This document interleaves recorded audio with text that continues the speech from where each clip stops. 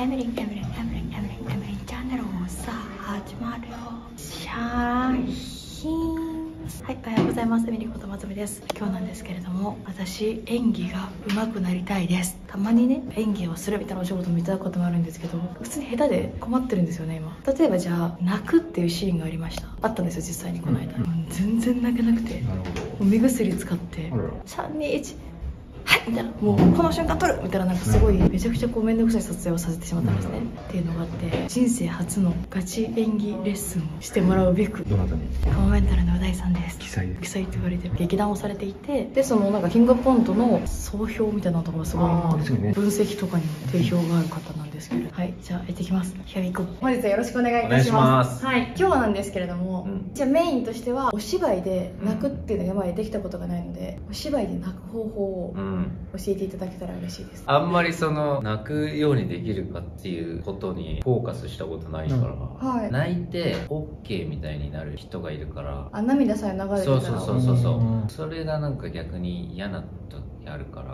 へだって泣く時さ本当は我慢するじゃん。ーはい。我慢しようとする作業がなんか取っ払われちゃうっていうなる時があるじゃない。ほなるほど、ん。あだから魂が泣いてたらいいってことですよね。泣くよりも伝わるそう。演技。そうそう。泣くことにだから頑張っちゃわないっていうのは一個真面目ななるほど。なるほど。ミニドラマみたいなやつでもう泣くっていうシーンがあったところで目薬を使ったんですよ、うん。でもそこがあもうなんか申し訳ないなみたいなどね。まあまあちょっとやっていこうよじゃあ。はい。エミリン。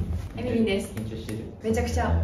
普段はさどういうことで泣くのエミリンは？えなんか家で一人で、うん。なんか急に闇期みたいなのに入って お風呂とかで泣くことが多いですね。それは聞いてもいいのどういう闇になる今27歳で職業 YouTuber なので、のだから突然こう未来への漠然とした不安に襲われたりとか。そう。かえじゃあそれでやって泣けるかやってみよう。よとある YouTuber の女の子がはい。将来憂いてお風呂の中で泣く。もしその役が来たらあ私と一緒だ。私と同じ感じでやればいいや。そういうアプローチをするよね多分。はい。それで一回やってみようよ。はい。お風呂に入って。お風呂入ります。であんまりこの時間長く経っちゃってるとかそういうこと意識せずに闇期に入ってやってみようかじゃあね、はい。じゃあ用意スタート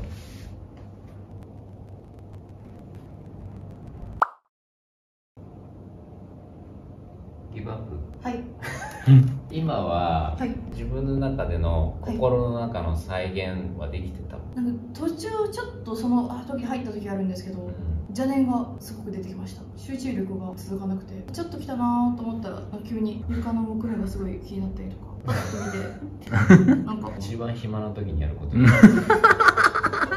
次来たらパッた時にすごい自分の手の毛穴が気になって。でも別にさ本当に闇期に入ってる時もさずっと毛穴を見ながら考えてたりすると思う。だから別に毛穴目に入るっていうのは別に悪くないと思うし。自分に合ったこのなんていうのかな感情の持っていき方があると思ってで虫とか嫌いなんでね。あ虫嫌いです、まあ、なんかチャンネルで見た。ありがとうございます。じゃあ何が嫌い一番？虫の中でゴキブリ。あゴキブリ。ゴキブリがさ上からバーって降ってきて、はい。泣くかな泣かないです。泣かないんだ。パニックになっちゃって多分涙は出ないです。そっか悔しいとかですか？あそうかも。悔しいは泣くかもしれないです。それこそなんか昔もともと芸人をやっていて、うん。すごいなんか悔しい思いをした話をこの間動画でしてたらなんかその時の感情がぶわっとなんかフラッシュバックしてうん。なんか気づけば号泣してました。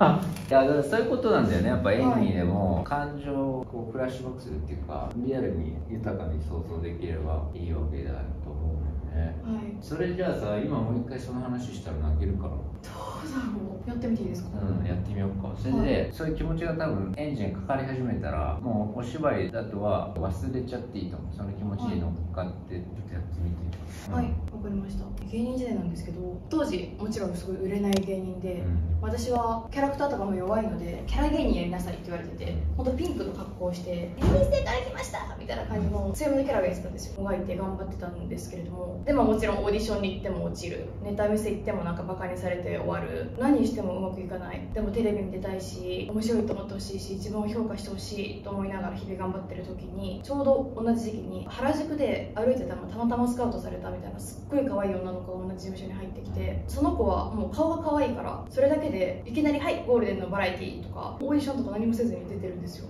それだけでもやっぱすごい羨ましいし妬ましいしえなんで私はこんなに出たいと思ってオーディションを頑張って受けてるのにこの子はオーディションが何もなくても出られるのっていう風にすごい思ったしなんかそれだけなら良かったんですけどその子になんか相談があるみたいな感じでいきなりなんか待ち合わせ場所に呼び出されてその時に言われたのがなんか私別に芸能活動とかやりたくないしなんかスカウトされたから入ったけどそもそもやる気ないんだよねみたいな話をされて。さらにバラエティーとか出たくもないのになんで出なきゃいけないの？最悪みたいな感じで愚痴られて。私はそのあなたが出てるバラエティーに出たくて出たくて頑張ってオーディション受けて必死でネタ書いてるのになんでそれが私に言えるの？っていう怒りとあと悔しさと。あこの世界は結局やる気なくても顔が良かったら出れるんだと思ったらなんか自分がやってることとか自分のこととかなんか全部アホらしくなってきてというかあそれがこの社会の祝辞なんだっていうのを22歳の時に初めて知って。なんなんでこんな社会なんだろうっていうことが悲しくなりました。うん。はい。いいじゃん今。体の状態泣いてたあ今うん。来ましたね。今どういう感じだった？この企画のことは頭の中にもあっ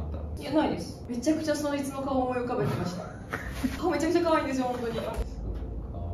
他のことがちょっと心配になるような感じだった。大丈夫？そんなそんな恨む恨んでる 恨んでないんですけど悔しかったです。なんかすごい。じゃあさもう一回今のやってみようそれでさ泣きのエンジンがかかってきたらもう話やめてじゃあ俺が手叩いたら上からバーってはい。ゴキブリ落ちてきて、もうパニックになるじゃん。はい。でそのゴキブリをその女の人が巻いてたとしてはい。で悔しいじゃん。はい。というお芝居にしてみようか。はい。じゃあその女の子の言葉とかをじゃあ俺が言ったりもするから決めようかはいじゃあ用意スでもそのめっちゃ可愛いから実際その子は成功してるんですねこの世界で聞くことじゃないですかなんか聞くことないってその人に対してすごいチャラするんですよちょっと仕事ない顔してるのにそれもなんかその子社会に出てきたりとかしてえなんで私怒られるそう怒られる普通になんか男社会気持ち悪いなと思って本当にはい上からゴキブリ落ちてきたはいババババもっとしてるよばあ逃げない逃げないほらあごめんなさい見えないですゴキブリがあれに帰っちゃいましたごめんなさい本当すいませんゴキブリ落ちてきたって言ったらもうバババって来たと思ってでもすごいねすぐその人の話になると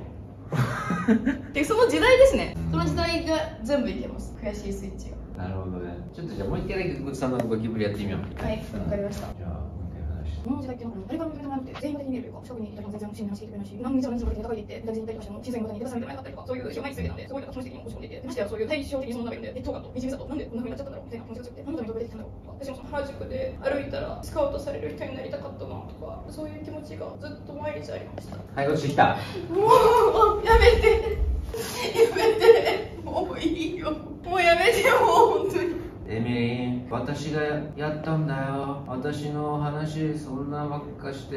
私がやったんだよ。このゴキブリ。私がやったんだよ。え？あんたのはいチャンネル面白くないよ。あんたのチャンネル私周りの友達もみんな面白くないって言ってるよ。なんでそんなこと言うの？あのそうだな。っていうかさ、はい。一体じゃあそういうの忘れてさゴキブリが落ちてきたらどうなるの？ゴキブリが落ちてきたらどうなるんですかね。で今落ちてきたはい。で浴びてんじゃんゴキブリ。逃げたいでしょ絶対。あそっか。でもさーって浴びてそこが泣く手前のあれかもしれないな。そっか。オッケーオッケー。じゃあそれはまた別の話だからじゃあこうしよう。はい。エミリンチャンネルを卒業終わることになりました。じゃあ最後の挨拶をしましょう。かやっぱ今までのこのチャンネルの楽しかったこととか夢半ばで諦めるっていうところもあると思うんでね。そういう話をしゴキブリは？ない。あ今回覚えてもない。ですか、うん。はい実際カメラにこうやってやってもらった方がいいおじゃあお願いします。はい、えーいつもエミリンチャンネル見てくださってありがとうございます、えー今日でエミリンチャンネルは終了となります理由としては私自身が実力不足を感じてもうこれ以上ちょっと頑張れないなという気持ちが強くなってしまったから辞める決意をしました。もともと声優になりたかったけどなれなくてアナウンサーになりたかったけどなれなくて芸人になったけど売れなくて最終的にたどり着いたのが YouTube で。YouTube でも認めてもらうことができなかったらもう完全にやめようと思って始めた最後の挑戦だったんですけれども結果的にたくさんの方が私のことを応援してくれてたくさん毎日コメントをくれたりとか温かい言葉をかけてもらえたのがすごく嬉しかったです。皆さんに見てもらえたからなんか生まれて初めてあ私はここにいていいんだなと思えるような場所ができたし居場所を与えていただけたなと思います。でも結局、まあ、今回もなんか自分としてはまだまだやりたいことがあったけど自分の中で区切りをつけてやめようと思ってしまったから。思い出して最後よこの。そっか。えー、どうしよちょっと途中良かったけどね。うはい。あれからやっぱ乗れ乗れなかった？我が一瞬出てきてそこから戻れなかったです。突然来るんですよね 急になんかこの辺で見てる自分が急に現れます。どこに駆られて泣いたりしない？一度もないです なんで？そんな恋愛で泣いた経過ないです。なんか執着しないですあんまり。そっか。だからあんまり普段から泣くタイプじゃないんだな。そうですかうん。それは一個ねハードルにはなると思う。普段から泣く人っていうのは多分泣きやすいんだよね。エミリーの中での泣きの演技が普通の人はこう同じ上がっててもこのラインがあったとして泣くポイントいくけどエミはギリ泣かないだけど変化としては同じだけ変化してるというふうに考えれば泣くにそんなにこだわる必要はないような気がなるほどだからもっと泣いた方がいいんじゃない？人生の中でうん。日頃から、そうそう。で泣いた時に覚えておく。どこが詰まってくるのかとか。お芝居ってやっぱこのセリフが書かれてるけどその中の感情っていうのはそこは勝手に逆に言うと作っていいところだからやっぱ自分に寄せていくっていうのはあ必要だと思うんだよねでも泣く以前のお芝居がはい。ちょっとできないっていうことをうすうす感じたね。私も実は薄々感づきました。ゴキブリできるようになったですね今日ちょっとあとゴキブリだけでもできるようになゴキブリだけでもできないでしょ、はい。どれぐらいのゴキブリの量を想像してた？10匹ぐらいです。いやもっと俺のイメージはもっと段ボール1杯分ぐらいだったんだあけどで例えば落ちてきてこれやるね。うわっ！うわっゴキブリが見えました。すごい。離れたいじゃんまず。はい。動きまで推測してこうやってよけてるってことですもんね。えどう見えてるんですか？CG じゃないけどなんとなくうっすらこの辺にあっおーって。すごっ。まあでも実際演技でやるとして本当のゴキブリを落とさないと思うんです確かにね。CG とかですよね、うん。きっとこのご時世。ちょっと一回やっていいですか？うん。じゃあ話してて。いやはい。それでも本当にしんどくて。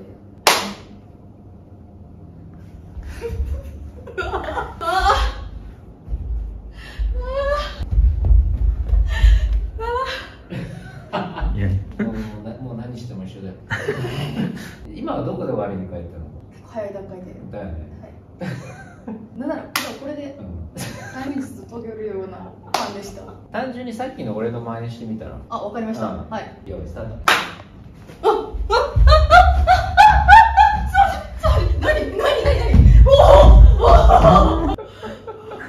どうでしたあう大さんこんな感じだったなれ すごい全てが不自然になっちゃうよね。そうなんですよね、うん。どこ見ていいかわかんない人になるこうほほほほほみたいな。そうですね。例えばさこれがすごい熱い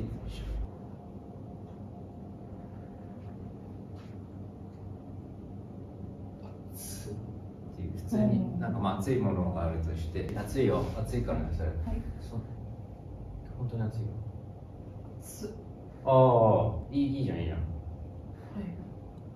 なんかドッキリのやらせと思ったらいいのか。やば。じゃあゴキブリ落ちてこよ。ドッキリで。用意スタートもうなんか自分としては本当に。あちょっと無理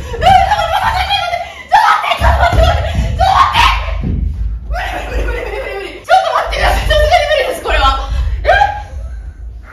オッケーオッケーまあさっきよりは良かったよ、はいでも今のはどうでした？終わったからこう逃げた後のそのやらせの部分も良かったよ。やらせでもぶつかった瞬間のとこはやっぱやらせとはまた別のあれだもんね。ね。自分の中好きな役への入り込みはできるんだよね多分ね。なんかディズニーランドキャストのままねとかやってるんでうんなん。かそういうのとかだったら全然なんか。そうだね。実際そのディズニーのキャストの時はさ役を演じてるって感じじゃなくない？あ確かにそうですね。多分なんかそのモノマネはできるんですよミレイさん。でもなんかお手本がない芝居だとできないんですよねセリフだけだと。かあそうかもしれなない。るほど、普段の自分がキャストをやってるように自分っていうものを役に自分を使えばいい。